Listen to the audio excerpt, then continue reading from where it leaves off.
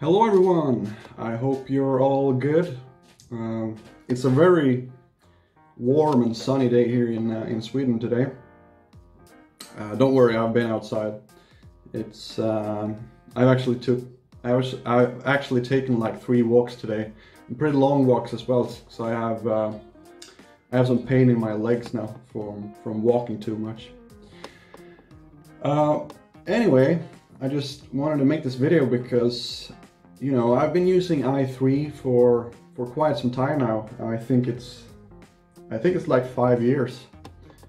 Five or six years, I think, I've been using i3. And it just recently struck me that maybe I should try something else. And you know, I made a, a video the other day saying that I bought a new laptop, uh, a Dell XPS, and it's probably coming next week. So, you know, my idea is that maybe I should install dwm this time on my laptop.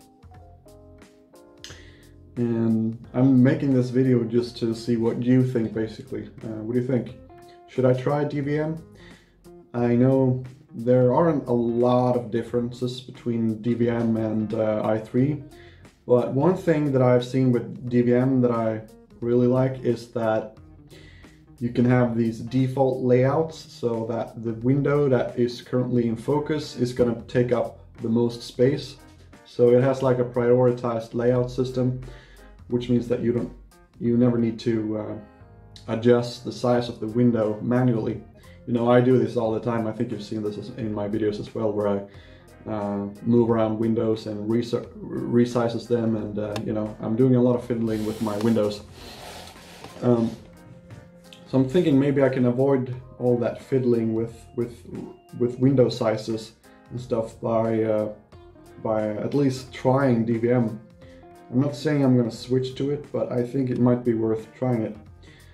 Um, and you know, if I if I like it, maybe I'll I'll stick with it. Um, so what do you think? Should I install dwm on my new laptop that I received and uh, make a video about it? Because I know I told you I'm gonna make a, uh, I'm gonna make an unboxing video of that laptop and also a video where I install Linux from scratch on it. Like I'm gonna show you how I install and configure Linux. And first I just thought I was going to install everything the way I always do it with i3 and all my i3 dot files and stuff. But maybe I should um, maybe I should install dwm instead. What do you think? Would that be an interesting video? Um, and also you'll get my first-hand uh, impressions of uh, of dwm, I guess, or um, I guess I will react on on how on what I think about dwm once I've tried it a bit. Um, as long as I can do all of the things that I can do in i3, I think I'm going to be happy with with using dwm actually. Um, I want to be able to have the same key, key bindings that I have in i3 as in dwm because I have configured my i3 a bit so that I can, uh, uh, well at least to me the, I've made the key bindings a bit easier to use in my config and I would be really happy if I can make that work in dwm as well. Um, so yeah, that's pretty cool, or I don't know. It might be cool to try dwm. Um, yeah, what do you think? Should I should I try dwm? Let me know in the comments, and uh, and um, I don't know. Even even even if you don't think I should try it, I'm probably gonna try it either way because I've been wanting to try it for a while now. Um, so I'm thinking I'm gonna do that. But it would be fun to hear your opinion as well, of course. Um, so yeah, if I if I do switch to dwm eventually if I do, if I find myself enjoying dwm enough. Then I'll probably also update my uh, my dot files on GitHub. And uh, I'm probably not gonna keep my old i3 dot files if I switch. Because I just don't want to maintain two configuration, configurations at the same time. You know, I have enough projects on my GitHub uh, uh, as it is. I, yeah, I, I just don't want to maintain two different configurations.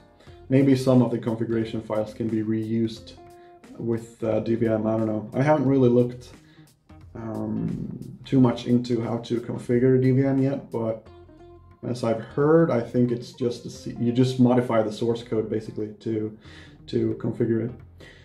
Um, but yeah, I know a lot of people have watched my video about my uh, my Vim configuration and my dot files uh, with i3. So, uh, and I also know that a couple of people have, or a lot of people have actually forked that configuration file from my GitHub.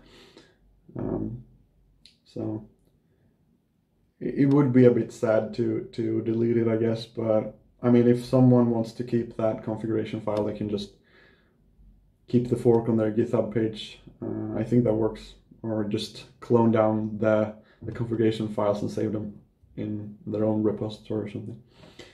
Uh, anyway, just a little update video, and I wanted to share you share with you my thoughts on on um, on me might switching to to dwm.